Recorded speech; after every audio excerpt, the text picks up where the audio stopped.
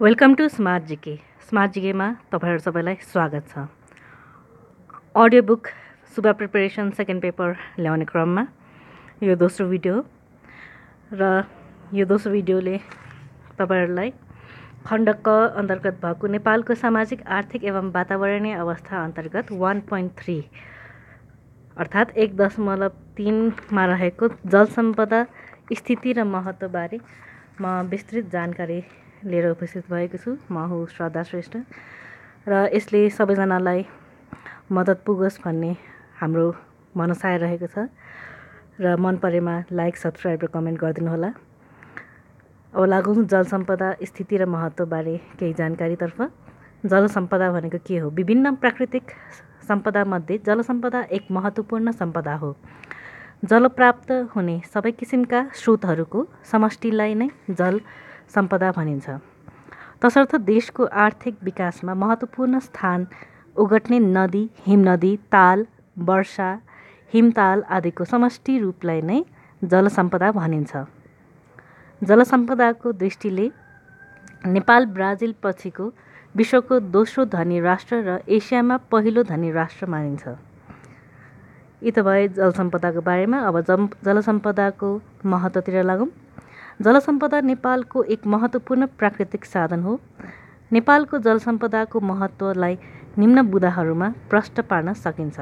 पहिलो बुदामा रहेको छ नेपालको अपार जलसम्पदाबाट जलविद्युत उत्पादन गरी बढी भएको विद्युत शक्ति निर्यात गरी व्हाइट डलर आर्जन गर्न सकिन्छ। दोस्रो पोइन्टमा रहेको छ जलसम्पदालाई सिँचाइ कार्यमा प्रयोग गरी कृषि उत्पादनमा वृद्धि गर्न सकिन्छ। त्यस्तै तेस्रो पोइन्टमा रहेको छ जल जल यातायातका साधन सञ्चालन गर्न सकिन्छ। त्यस्तै चौथोमा रहेको छ उपयुक्त वातावरण तयार गरी मत्स्य पालन गर्न सकिन्छ। त्यस्तै चौ पाँचौँमा रहेको छ विद्युतीकरणबाट अन्य क्षेत्रको विकास हुँदा पर्यटन व्यवसाय समेत फस्टाउँछ। छैटौँमा रहेको छ पर्याप्त मात्रामा जलविद्युत उत्पादन गरी पेट्रोल डिजेल मट्टीतेल एलपी ग्यासको उपभोगलाई प्रतिस्थापन गर्दै जाने र यसबाट पेट्रोलियम पदार्थको आयात घट्न जान्छ। त्यसै सातौँमा रहेको छ खानेपानीको मागलाई पुरा गर्न सकिन्छ। त्यसै आठौँ पोइन्टमा रहेको छ कतिपय नदीहरूले राजनैतिक सिमानाको काम समेत गरेका छन् जस्तै महाकाली नदी मेची नदी नारायण नदी आदि इत्यादि नदीहरूले नेपालका चौध अञ्चलमध्ये दस अञ्चलको नाम समेत नदीका यी नदीहरूबाट राखिएका छन्। त्यस्तै नौ नम्बरमा रहेको छ नदीहरूले थुपारेर बनेको पाङ्गो माटोमा जुनसुकै बाली लगाउन सकिन्छ। त्यसै दस नम्बरको पोइन्टमा रहेको छ नदीहरूबाट ढुङ्गा कङ्कड र बालुवा जस्ता सामग्री प्राप्त गर्न सकिन्छ।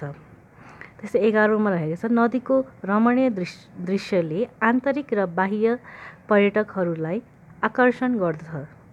बाह्र पोइन्टमा रहेको छ। जलसम्पदा जलचर थलचर र उभयचर सबै प्रकारका जीव जन्तुहरूको संरक्षणको लागि आवश्यक हुन्छ।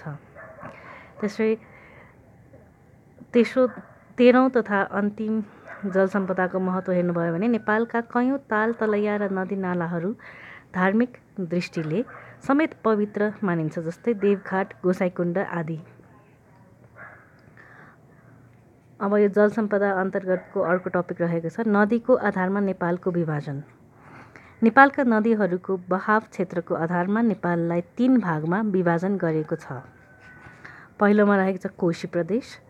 यो पूर्वमा कञ्चनजङ्घादेखि पश्चिममा लाङटाङ हिमाल अथवा गोसाई स्थान बिचको कोशी नदी प्रभावित क्षेत्रलाई कोशी प्रदेश भनिन्छ। कुशिक ऋषिको नामबाट नामाकरण भएको कोशी नदी नेपालको सबैभन्दा ठुलो नदी हो।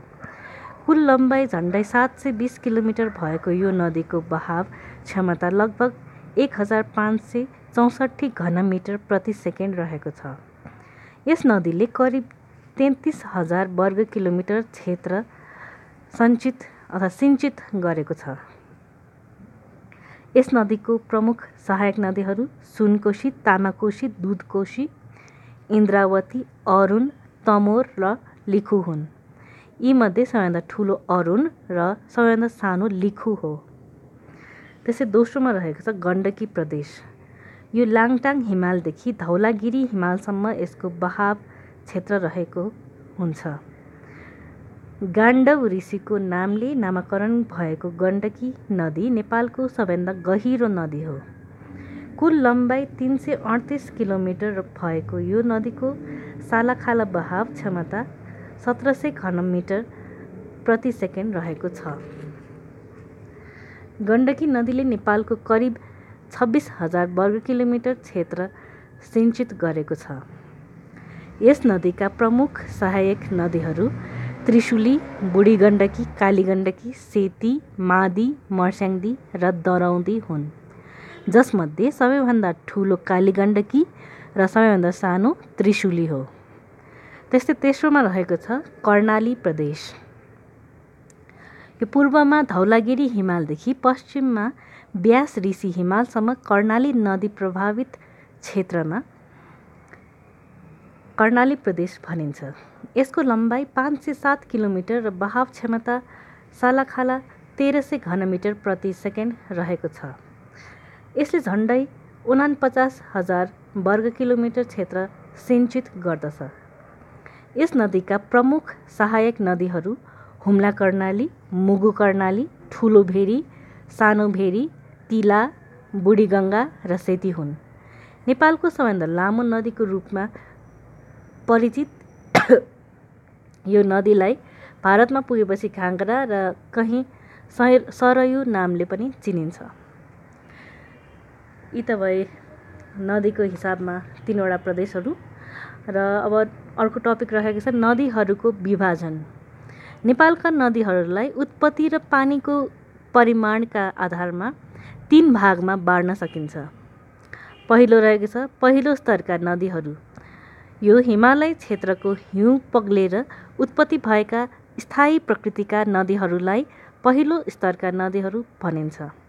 सप्तकोशी सप्तगण्डकी र कर्णाली पहिलो स्तरका नदीहरू हुन्। यिनीहरूमा सबैभन्दा ठुलो सप्तकोशी लामो कर्णाली र गहिरो गण्डकी नदी हो। प्रथम कोटिका यी तिन प्र मुख्य नदीहरूले नेपालको सम्पूर्ण नदी बहावको अस्सी प्रतिशत अंश ओगटेको ओगटेका छन्। त्यसै दोस्रोमा रहेको छ दोस्रो स्तरका नदीहरू। महाभारत पर्वत श्रृङ्खलाबाट उत्पत्ति भई बहने मेची कन्काई कमला बागमती राप्ती तिनाउ बाणगङ्गा आदि दोस्रो स्तरका नदीहरू हुन्। यस स्तरका नदीहरूमा वर्षायाममा पानीको मात्रा र वेग बढ्ने तथा सुक्खायाममा घट्ने भएकाले विद्युत उत्पादन का लागि उपयुक्त नभए पनि सिँचाइका लागि चाहिँ एकदमै महत्त्वपूर्ण मानिन्छ। त्यस्तै तेस्रोमा रहेको छ तेस्रो स्तरका नदीहरू। यो चुरी पर्वतबाट उत्पत्ति भएका यी नदीहरू अति छोटो दूरीका र अस्थायी प्रकृतिका हुन्छन्। हिउँदोमा प्राय सुक्खा रहने भए तापनि वर्षामा ठुलो रूपमा बहने गर्छन्।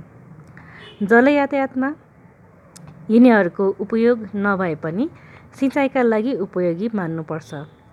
तिलावे मोहना जमुनी रतुवा मैनावती मनुषमारा मनुषमारा हर्दीनाथ आदि यस स्तरका नदीहरू हुन्।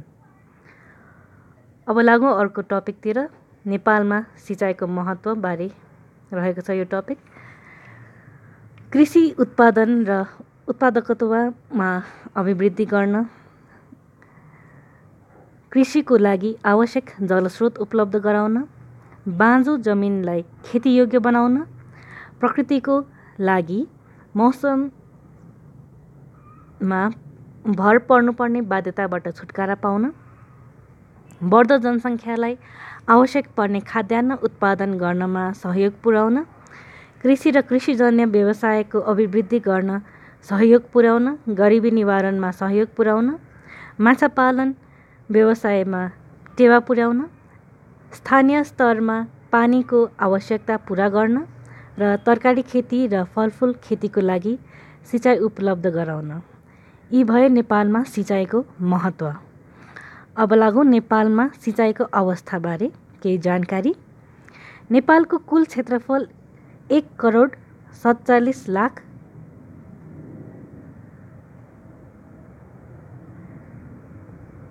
one four seven one eight one hectare zero zero हेक्टरमध्ये करिब twenty two six four one zero zero zero hectare कृषियोग्य जमिन भएको अनुमान छ। भौगोलिक कठिन बनावटका कारण त्यसमध्ये पनि करिब सत्र लाख छैसठी हजार हेक्टरमा मात्र सिँचाइ सुविधा पुर्याउन सकिने अवस्था रहेको छ। आर्थिक वर्ष दुई हजार बहत्तर त्रिहत्तरको अन्त्यसम्ममा तेह्र लाख छयानब्बे हजार हेक्टर क्षेत्रफलमा सिँचाइ सुविधा पुग्ने अनुमान गरेको थियो तर बाह्रै महिना सिँचाइ सुविधा पुग्ने क्षेत्र भने सिन्चित क्षेत्रको करिब चालिस प्रतिशत मात्र रहेको छ। सीमित खेतीयोग्य जमिन र बढ्दो जनसङ्ख्याको कारण कृषि उत्पादकत्व बढाउन सिँचाइको राम्रो व्यवस्था हुनु आवश्यक भएकोले सरकारले सिँचाइ पूर्वाधार विकासमा ध्यान दिँदै आएको छ। अब अर्को टपिक रहेको छ नदीको महत्त्व। नदीबाट पाउने पानी उपलब्ध हुन्छ। कृषिको लागि आवश्यक सिँचाइको व्यवस्था गर्न सकिन्छ।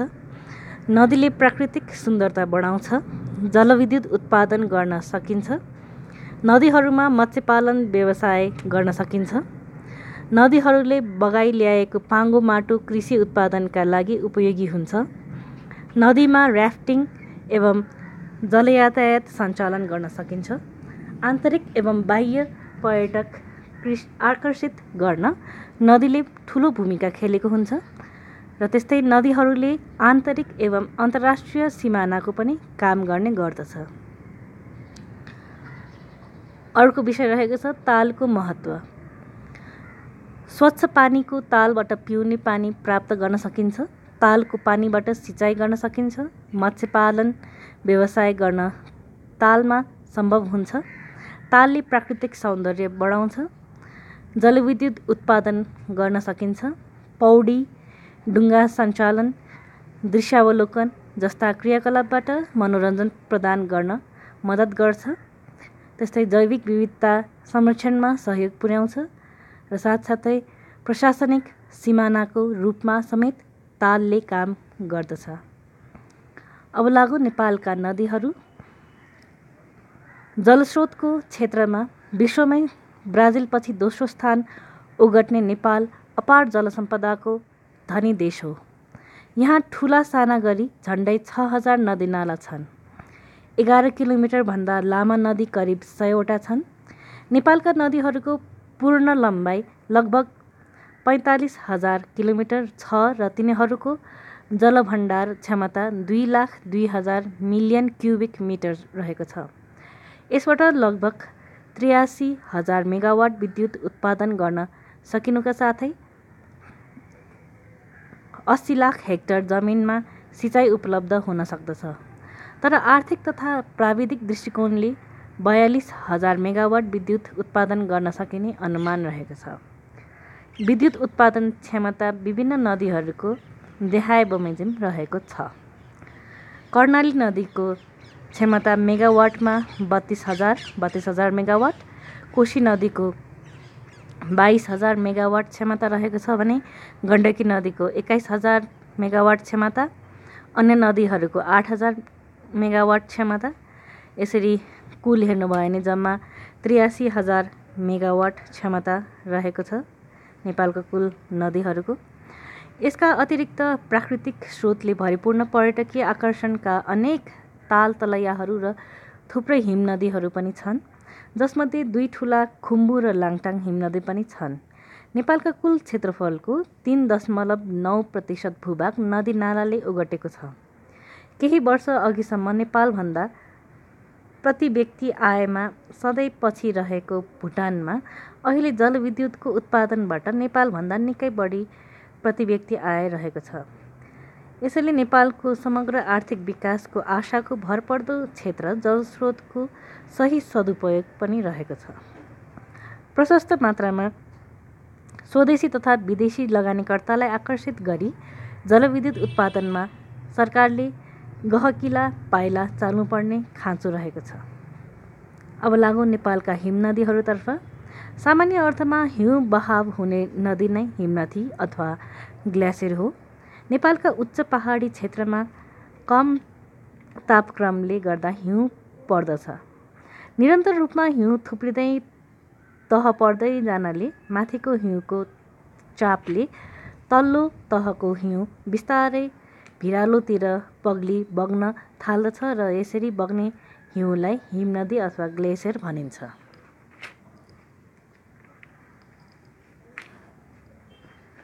नेपाल सबैभन्दा लामो नेपालको सबैभन्दा लामो खुम्बु हिमनदी बत्तिस किलोमिटर तथा सबैभन्दा ठुलो लाङटाङ हिमनदी अठार किलोमिटर हुन् भने अन्य हिमनदीहरूमा यालुङ काङसुङ तल्लो बरुण रोङबुक आदि हुन्। हिमाली क्षेत्रबाट ठुला नदी र हिमनदीहरूको उत्पत्ति भई दक्षिणतर्फ बहेका छन्। नेपालका पहिलो स्तरका नदीहरूको स्रोत नै हिमालहरू हुन्। हिमनदीहरूको हिउँ पग्लेर कर्णाली सप्तकोशी सप्तगण्डकी जस्ता ठुला नदीहरू अटुट रूपमा बगिरहेका छन् र यी नदीहरूमा प्रशस्त मात्रामा विद्युत उत्पादन गर्ने र सिँचाइ गर्न सक्ने क्षमता रहेको छ। यस्तै यस्ता नदीहरूले प्राकृतिक सौन्दर्यता बढाउनुका साथै पर्यटकहरूलाई पनि आकर्षित गरेको छ। अर्को टपिकतिर लागौँ नेपालका ताल तलैयाहरू मैले योभन्दा अगाडिको भिडियोमा सबै ताल धेरै जस्तो ताल तलैयाहरूको बारेमा विवरण दिइसकेको छु यसमा पनि म अझै दिनेछु। जमिनको खाल्डोमा रहेको जलराशिलाई ताल भनिन्छ। नेपालको धरातलीय स्वरूपको विविधताको कारणले यहाँ कैयौँ ताल एवं जलकुण्डहरू बनेका छन्। नेपालको धरातलीय विविधता अनुरूप नेपालमा विविध प्रकृतिका अधिक ताल तलैया कुण्ड पोखरी रहेका छन्। राराताल नेपालको सबैभन्दा ठुलो फोक्सुन्डो सबैभन्दा गहिरो र तिलुचो सबैभन्दा अग्लो स्थानमा रहेको ताल हुन्। अहिले तिलुचो होइन। अहिले मैले अहिले नाम बिर्सेँ के थियो? पाचाल पचाल कि के भन्ने पचाल भन्ने हो के अरे? पचाल ताल। यति त झरना हो।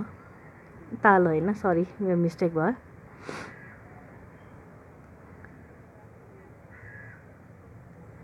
र त्यस्तै नेपालको दोस्रो महत्त्वपूर्ण जलसम्पदा मानिने तालहरूको ठुलो आर्थिक वातावरणीय र धार्मिक महत्त्व रहेको छ। नेपालको उत्पत्ति एवं ए नेपालको उत्पत्ति होइन तालको उत्पत्ति एवं स्वरूपको आधारमा नेपालका तालहरूलाई निम्न तिन वर्गमा विभाजन गरेको छ। हिमाली ताल हिमनदीले बनाएको ताललाई हिम हिमाली ताल भनिन्छ जस्तै रारादह तिलिचो ताल सेफुक्सुन्डो ताल खुम्बु लाङटाङ आदि। हिमनदी र तिनले बगाइ ल्याउने हिमोडद्वारा निर्मित हिमाली प्रदेशका तालहरू हिमाली ताल हुन्। हिमतालहरू कहिल्यै सुक्दैनन्। हिउँदमा बढी चिसोको कारण आंशिक रूपमा कतिपय हिमतालहरूमा हिउँ जम्न पुग्दछ। हिमाली ताल वरिपरिका दृश्य निकै मनोरम हुन्छ र यहाँ पर्यटकहरूको पनि निकै ठुलो आकर्षण रहन्छ। त्यसै दोस्रोमा रहेको छ पहाडी तथा मैदानी ताल भूधरातलीय परिवर्तन नदीनाला आदिका कारण पहाड तराई वा उपत्यकामा बनेका प्राकृतिक ताललाई पहाडी तथा मैदानी ताल भनिन्छ। पहाडी तथा मैदानी तालहरू पिउने पानी सिँचाइ जैविक विविधताको संरक्षण मनोरञ्जन आदिका लागि निकै उपयोगी सिद्ध भएका छन्। पहाडी तथा मैदानी तालले सिमसारको पारिस्थितिक प्रणाली समेत कायम गरेका छन्। फेवाताल रूपाताल बेगनासताल बिस हजारी ताल गजेडी ताल नागदह सुरमा सरोवर ताल आदि पर्वतीय तथा मैदानी ताल हुन्। तेस्रोमा रहेको छ मानव निर्मित ताल। सिँचाइ जलविद्युत उत्पादन माछा पालन आदि प्रयोजनका लागि मानिसले निर्माण गरेको ताललाई मानव निर्मित ताल भनिन्छ। इन्द्र सरोवर धनुष सागर कमल पोखरी रानी पोखरी नाग पोखरी सिद्ध पोखरी इन्द्र सरोवर आदि नेपालका मुख्य मानव निर्मित ताल हुन्। अब लागु नेपालका प्रमुख तालहरूबारे जानकारीका साथ पहिलोमा रहेको छ रारा ताल। कर्णाली अञ्चलको मुगी जिल्लामा अवस्थित यो नेपालको सबैभन्दा ठुलो ताल हो। यसलाई स्थानीय भाषामा कचौरा भनिन्छ। यो समुद्र सतहबाट तिन हजार दुई सय मिटर अर्थात् दस हजार फिटको उचाइमा पर्दछ। यसको पूर्व पश्चिम लम्बाइ आठ किलोमिटर चौडाइ एक दशमलव पाँच किलोमिटर र गहिराई एक सय सतसाठी मिटर रहेको छ। यो ताल करिब एघार वर्ग किलोमिटरमा विस्तारित भएर रहेको छ। रालो राष्ट्रिय निकुञ्जभित्र पर्ने यो ताल प्राकृतिक एवं पर्यावरणीय सुन्दरताको अनुपम नमुना पनि हो। यसलाई विक्रमसम्म दुई हजार बिस साल चैत तेह्र गते तत्कालीन मुगु जिल्ला पञ्चायतले महेन्द्र ताल नामाकरण गरेको हो। अर्को तालमा रहेको छ फोक्सुन्डो ताल। कर्णाली अञ्चलको डोल्पा जिल्लामा अवस्थित यो नेपालको सबैभन्दा गहिरो ताल हो। यो ताल समुद्री सतहबाट तिन हजार नौ सय मिटर उचाइमा पर्दछ। यो तालको गहिराई छ सय पचास मिटर लम्बाइ चार दशमलव आठ किलोमिटर र चौडाइ एक दशमलव छ किलोमिटर रहेको छ। गुलेली अर्थात् वाइ आकारको देखिने यो ताल स्थानीय नाम यसको रिङ्मो हो अथवा रिग्मा ताल। रारा ताल पछिको दोस्रो ठुलो यो ताल सेफोक्सुन्डो राष्ट्रिय निकुञ्जभित्र पर्दछ। यस तालको चारैतिरबाट मनमोहक हिमशृङ्खलाहरूको छाया देखिने भएकाले पर्यटकीय दृष्टिकोणले आकर्षक छ। यस तालको पानी अत्यन्त चिसो भएकाले यस तालमा कुनै जीवात्मा पाइँदैनन्।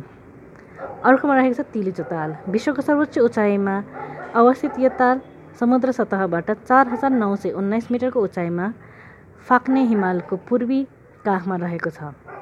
यो ताल गण्डकी अञ्चलको मनाङ जिल्लामा पर्दछ। यस तालको लम्बाइ चार किलोमिटर चौडाइ एक दशमलव दुई किलोमिटर र गहिराई दुई सय मिटर रहेको छ। यस ताललाई स्थानीय भाषामा तिरिछो वा तिलिजो पनि भनिन्छ। हिउँ जल तथा ढुङ्गाको सौन्दर्यमा खुलेको हुनाले यो ताल पनि अति नै मनमोहक एवं मनोरम रहेको छ। यस तालको उत्तरतिर निलगिरी र दक्षिणतर्फ अन्नपूर्ण हिमालको लहर देखिन्छ। अर्कोमा रहेको छ फेवा ताल कास्की जिल्लाको पोखरामा अवस्थित यो ताल चार वर्ग किलोमिटरको क्षेत्रफलमा फैलिएको छ। यो ताल समुद्र सतहबाट करिब सात सय चौरासी मिटरको उचाइमा अवस्थित छ। यो ताल हर्पन खोला र मर्सी खोला मिसिएर बनेको छ। मनमोहक र रमणीय दृष्टिले अतुलनीय भएको कारण पर्यटकको लागि यो आकर्षणको केन्द्रबिन्दु बनेको छ। माछापुच्छ्रे हिमालको छाया यस तालमा पर्दा दृश्य अझै अवर्णनीय हुन्छ। फेवातालको मध्य भागमा तालबा रहेको मन्दिर पनि रहेको छ। त्यस्तै अर्को ताल रहेको छ छोरोल्पा हिमताल। यो ताल दोलखा जिल्लाको गौरीशङ्कर गाविसमा समुद्र सतहबाट चार हजार पाँच सय एकसाठी मिटर उचाइमा पर्दछ। यस तालको लम्बाइ तिन किलोमिटर चौडाइ शून्य दशमलव पाँच किलोमिटर र गहिराई सय मिटर रहेको छ। यो तालमा करिब आठ करोड घनमिटर पानी रहेको अनुमान छ। यो नेपालको सबैभन्दा ठुलो हिमताल हो। सन् उन्नाइस सय उनासाठीमा शून्य दशमलव दुई तिन वर्ग किलोमिटर मात्र फैलिएको छोरोल्पाको आकार सन् दुई हजार दुईमा एक दशमलव सात छ वर्ग किलोमिटर पुगेकोले तिन मिटर जति पानीको तह घटाई यसबाट हुन सक्ने जोखिमलाई न्यून गरेको थियो। अर्को ताल रहेको छ झिलमिला ताल। कञ्चनपुरको सदरमुकाम महेन्द्रनगरदेखि करिब बिस किलोमिटर उत्तरतर्फ चुरे पहाडमा यो ताल पर्दछ। यस तालको पानी एक एक दिनभरिमा कहिले कालो कहिले निलो कहिले हरियो कहिले पहेँलो र कहिले माटो रङको देखिन्छ। यो ऐतिहासिक धार्मिक तथा पर्यटकीय दृष्टिकोणले पनि महत्त्वपूर्ण रहेको छ। अर्कोमा रहेको छ बिस हजारी ताल। चितवन जिल्लामा अवस्थित यो ताल महेन्द्र राजमार्गबाट बिस हजार फिट दक्षिणमा भएकाले यसलाई बिस हजार ताल नामाकरण गरिएको हो। खगेरी नदीको पानी सङ्कलन भई निर्माण भएको यो ताल एक सय पचास हेक्टर क्षेत्रफलमा फैलिएको छ। यो तालको वरिपरि एक सय पच्चिस थरीका पशुपक्षीहरू पचास थरीका माछाहरू लोप हुन थालेका कालो स्टर्क विभिन्न किसिमका सर्प तथा अजिङ्गरहरू पाइनुको साथै साइबेरिया र हिमाली क्षेत्रका पन्छीहरू पनि पाइने हुँदा यसको पर्यटकीय महत्त्व अझै बढी रहेको छ। अर्को तालमा रहेको छ पञ्चासे ताल।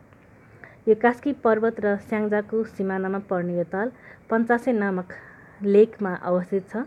पञ्चासेबाट अन्नपूर्ण हिम श्रृङ्खला पोखरा र आसपासका क्षेत्रको रमणीय दृश्य दृश्य दृश्यावलोकन गर्न सकिन्छ। यो ताल समुद्र सतहबाट दुई हजार पाँच सय नौ मिटरको उचाइमा रहेको छ। चारैतिर ढुङ जङ्गलले घेरिएको मनोरम स्थलमा रहेको यो तालको विशेषता हो। के हो भने पात पतिङ्गर तालमा तैरिए तैरिएर नरही सफा सफेद पानी बसिरहन्छ। मतलब यो ताल कहिले पनि फोहोर हुँदैन कुनै पनि पात पतिङ्गरहरू त्यसमा बसिराख्दैन सफा भइराख्छ त्यो ताल। हालसम्म माछाको अस्तित्व नरहेको यस तालमा माछाका भुराहरू छाडिएका छन्। पञ्चासी क्षेत्र यस मनोरम तालका अतिरिक्त भ्यू टावर र प्रसिद्ध सिद्धबाबाको मन्दिर लगायत धार्मिक र पर्यटकीय महत्त्वले भरिएको छ। पञ्चासीलाई ग्रामीण पर्यटकीय क्षेत्रको रूपमा विकास गर्न गुरु योजना समेत तयार भएको छ। अर्कोमा रहेको छ जाखिरा ताल। लुम्बिनी अञ्चलको कपिलवस्तु जिल्लाको सदरमुकाम तौली हवाबाट दस किलोमिटर टाढा निग्ली हावा गाविसमा यो ताल पर्दछ। यो ताल लुम्बिनी अञ्चलको सबैभन्दा ठुलो ताल मानिएको छ जसको क्षेत्रफल करिब एक सय सन्ताउन्न हेक्टर रहेको छ। यस तालमा प्रति वर्ष साइबेरियाका बाह्र प्रकारका चराले छ महिना बास बसी फुल पारी बच्चा हुर्काई फर्कन्छन्। अर्कोमा रहेछ रानी पोखरी। यो विक्रम सम्बत सत्र सय सत्ताइसमा प्रताप मल्लद्वारा छोरा चक्रवतेन्द्र मल्लको असामयिक निधन पश्चात बत्तिस रोपनी क्षेत्रफलमा एक सय अस्सी मिटर लम्बाइ एक सय चालिस मिटर चौडाइको यो ताललाई विष्णु तीर्थ समेत भनिन्छ। यस पोखरीको मध्यभागमा भातृतेश्वर भीमेश्वर महादेव गौरीशङ्कर महादेव र बालगोपालजीको मूर्ति रहेको छ। रानी पोखरीको दक्षिण किनारमा एक ठुलो हात्तीमाथि प्रताप मल्ल र उनका दुई छोराको मूर्ति रहेको छ। भाइटिकाका दिन मात्र खुल्ने यो मन्दिर विक्रमसम्म दुई हजार त्रिसाठी सालदेखि छठ पर्वको लागि का दिन पनि खुल्ने गरेको छ तर अहिले यो बहत्तर सालको महाभूकम्प पश्चात ध्वस्त भएकोले अहिले बन्द गरेको छ। त्यस्तै अर्को रहेको छ इन्द्र सरोवर। मकवानपुर जिल्लामा पर्ने कुलेखानी जलविद्युत परियोजनाको लागि निर्माण गरिएको सात किलोमिटर लामो रिजर्भरलाई तत्कालीन श्री पाँच युवरागी इन्द्रराज लक्ष्मी देवी शाहको स्मृतिमा इन्द्र सरोवर नामाकरण गरेको हो। यो नेपालको मानव निर्मित तालहरूमध्ये सबैभन्दा ठुलो ताल हो।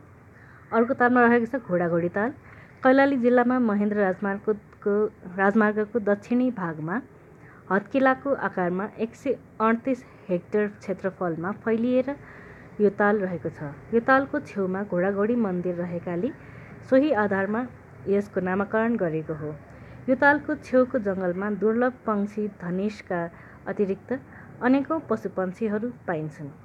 विक्रमसम्म दुई हजार बाहन्न सालमा यही मन्दिर नजिकै योगी नरहरिनाथले कोटी होम यज्ञ गरी यस ताललाई कपिल ताल भनी नामाकरण गरेका थिए। सिमसार र जैविक विविधताका दृष्टिले अन्तर्राष्ट्रिय महत्त्व राख्ने भएकाले सन् दुई हजार तिनमा रामसार सूचीमा समेत यो ताललाई सूचीकृत गरेको थियो। अर्को रहेको छ बेगनास ताल। यो कास्की जिल्लामा पोखरा बजारको उत्तरपूर्वी भेगमा पर्ने पचभैया डाँडाको काखमा अवस्थित समुद्र सतहबाट करिब छ सय सतहत्तर मिटरको उचाइमा रहेको छ। यस ताललाई कास्कीको फेवा पछिको दोस्रो ठुलो ताल मानिन्छ। सात दशमलव पाँच मिटर गहिरो यो ताल दुई सय पच्चिस हेक्टर क्षेत्रफलमा फैलिएको छ।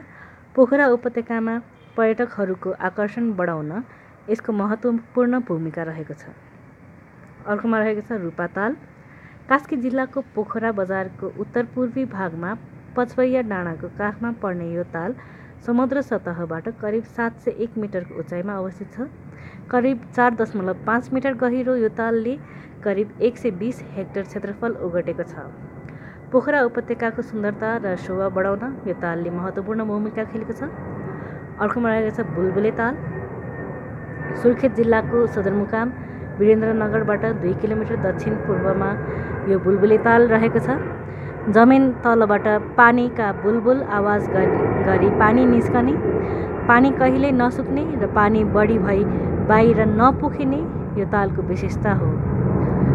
र अन्तिम ताल रहेको छ तल्लो वरुण ताल। सङ्खुवासभा जिल्लामा अवस्थित सात सय अस्सी हेक्टर क्षेत्रफल ओगटेको यस तालको लम्बाइ एक हजार दुई सय पचास मिटर चौडाइ छ सय पच्चिस मिटर र गहिराइ पचासदेखि एक सय अठार मिटर रहेको छ। यो ताल समुद्री सतहबाट चार हजार पाँच सय सत्तरी मिटर उचाइमा रहेको छ। यो तालबाट निस्केको पानी वरुण नदीमा मिसिन्छ। हिउँको बोझ थाम्न नसक्ने भएर यो ताल फुट्ने सम्भावना विज्ञहरू बताउँछन्। यो ताल मकालु आधार शिविर नजिकै पर्दछ। र अर्को इम्पोर्टेन्ट नदी हेर्नु भने अरुण नदी रहेको छ। सप्तकोशीका सहायक नदीहरूमध्ये सबैभन्दा ठुलो यो नदीलाई तिब्बतमा फुङचु पनि भनिन्छ। यो नदी कुम्भकर्ण हिमशृङ्खलाको तिब्बती पठारबाट उत्पत्ति भई कुम्भकर्णको फेदबाट नेपाल पसेपछि अरुण नदी बन्दछ। संसारको सबैभन्दा उच्च स्थानबाट बहने यो नदीलाई संस्कृत भाषामा महाप्रवाह भनिन्छ। यो नदी नेपालभित्र एक सय बाहन्न किलोमिटर र तिब्बतमा तिन सय एकसाठी किलोमिटर गरी जम्मा पाँच सय तेह्र किलोमिटर लामो छ। यो नदीले बनाएको करिब चार सय सन्ताउन्न किलोमिटर किलोमिटर होइन मिटर। गहिरो अरुण उपत्यका नै विश्वको सबैभन्दा गहिरो उपत्यकाको रूपमा प्रसिद्ध छ। अरुण उपत्यका सगरमाथाबाट आठ हजार तिन सय एकानब्बे मिटर गहिरो छ। अब अर्को टपिकमा लागौँ। चौधौँ योजना अर्थात् आर्थिक वर्ष दुई हजार त्रिहत्तर चौहत्तरदेखि पचहत्तर छहत्तरसम्ममा जलविद्युत सम्बन्धी व्यवस्था। पृष्ठभूमिमा हेर्नुभयो भने नेपालको लागि जलविद्युत नै ऊर्जाको महत्त्वपूर्ण एवं भरपर्दो स्रोत हो। नेपालको संविधानले जनसहभागितामा आधारित स्वदेशी लगानीलाई प्राथमिकता दिँदै जलस्रोतको बहुउपयोगी विकास गर्ने नीतिगत व्यवस्था गरेको छ। ऊर्जा मुलुकको विकासको मेरुदण्ड भएकोले नेपालका पछिल्ला आवधिक योजनाहरूमा ऊर्जा क्षेत्रले उच्च प्राथमिकता पाउँदै आएको छ। सरकारी निजी र सामुदायिक लगानीका साथसाथै विदेशी लगानी मार्फत जलविद्युत क्षेत्रको विकास तथा प्रवर्धन गर्ने प्रयास भइरहेको छ। समसामयिक ऐन नियम नीतिहरूको निर्माण तथा तिनको प्रभावकारी कार्यान्वयनका लागि संस्थागत व्यवस्थाका बावजुद जलविद्युत उत्पादनको कुल सम्भावित क्षमताको न्यून मात्रामा मात्र उत्पादन सम्भव हुन सकेको छ। कुल जलविद्युत जडान क्षमता आठ सय उनातिस मेगावाट पुगेको छ भने राष्ट्रिय विद्युत प्रणाली र वैकल्पिक तथा अन्य ऊर्जा समेतमा जनसङ्ख्याको पहुँच चौहत्तर प्रतिशत छ। विद्युत प्रसारण लाइनको कुल लम्बाइ दुई हजार आठ सय अडचालिस किलोमिटर रहेको छ। दुई हजार आठ सय बयानब्बे गाविसमा विद्युतीय पूर्वाधार पुगेको छ। अत ऊर्जामा आत्मनिर्भर हुन जलविद्युतका साना मझौला तथा ठुला आयोजनाहरूलाई प्राथमिकताका आधारमा कार्यान्वयनमा लैजान आवश्यक भएको छ। त्यसै चुनौती र तथा अवसर भने चुनौती अन्तर्गत मुलुकको आधुनिकीकरण र औद्योगिकीकरणसँगै तीव्र वृद्धि हुन थालेको जलविद्युतको माग पुरा गर्नु आयोजनाहरू निर्धारित समय र लागतमा सम्पन्न गर्नु आयोजना सञ्चालनका लागि विभिन्न सरकारवाला निकायहरूबीच समन्वय गर्नु नियामक तथा वितरण निकायको वितरण प्रणाली विस्तार एवं सुदृढ गर्नु जलविद्युत उत्पादनमा निजी क्षेत्रको योगदान बढाउनु जलविद्युत विकासका प्रमुख चुनौतीहरू रहेका छन्। त्यस्तै अवसर हेर्नुभयो भने ऊर्जालाई आर्थिक विकासको मेरुदण्डका रूपमा अङ्गीकार गरी आर्थिक समृद्धिको माध्यमका रूपमा यसको पहिचान हुनु ऊर्जा क्षेत्र प्राथमिकता प्राप्त क्षेत्रको रूपमा रहनु लगानीको प्रशस्तै अवसर देखिनु वैदेशिक लगानीको लागि पर्याप्त सम्भावना देखिनु निजी क्षेत्र तथा स्थानीय जनताको सेयर लगानीमा वृद्धि भई जनताको स्वामित्व कायम हुनु जलविद्युत क्षेत्रका अवसरका रूपमा पनि लिन सकिन्छ। सोच लक्ष्य उद्देश्य रणनीति हेर्नुभयो भने सोच अन्तर्गत जलविद्युतको तीव्र विकास मार्फत मुलुकमा दिगो विकास र समृद्धि लक्ष्य लक्ष्य अन्तर्गत ऊर्जा सुरक्षा सहितको जलविद्युत विकासबाट विद्युतमा आत्मनिर्भरता हासिल गरी आर्थिक तथा सामाजिक समुन्नतिमा योगदान पुर्याउने र उद्देश्य हेर्नुभयो भने जलविद्युत सेवाको विस्तार गरी सबै घर परिवार र क्षेत्रको सहज पहुँच सुनिश्चित गर्नु। रणनीति चारवटा रहेको छ। पहिलोमा रहेको छ जलविद्युतमा लगानी बढाई विद्युत उत्पादनमा वृद्धि गर्ने। दोस्रोमा रहेको छ विद्युतको प्रसारण व्यवस्थालाई थप सुदृढ तथा विस्तार गर्ने। तेस्रो रणनीति रहेको छ वितरण प्रणालीलाई प्रभावकारी बनाई विद्युतको पहुँच सर्वसुलभ बनाउने। र चौथो रणनीति रहेको छ विद्युत उत्पादन सम्मिश्रणको माध्यमबाट ऊर्जा सुरक्षाको प्रत्याभूति गर्ने। त्यस्तै आजको अन्तिम टपिक रहेको छ। चौधौँ योजना दुई हजार त्रिहत्तर चौहत्तरदेखि पचहत्तर छहत्तरसम्ममा सिँचाइ क्षेत्रको सोच लक्ष्य उद्देश्य र रणनीति। सोच अन्तर्गत सम्पूर्ण कृषियोग्य भूमिमा बाह्रै महिना सिँचाइ सुविधा। लक्ष्य अन्तर्गत कृषियोग्य भूमिमा भरपर्दो र दिगो सिँचाइ सेवामार्फत कृषि उत्पादकत्व तथा उत्पादन वृद्धिमा सहयोग गर्ने।